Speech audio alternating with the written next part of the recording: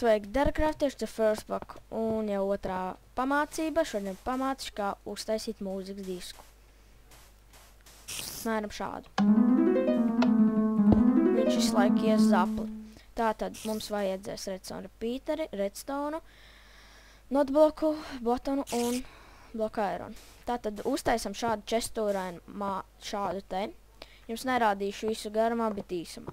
Tātad uzliekam mūsu iron un botonu apmēram, lai šādi izskatās.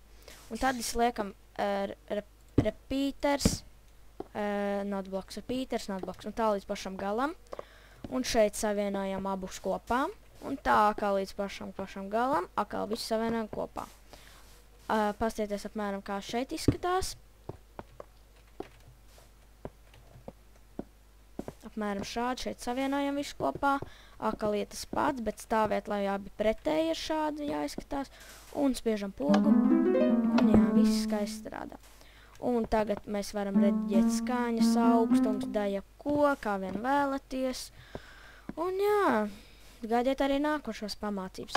Special for craft.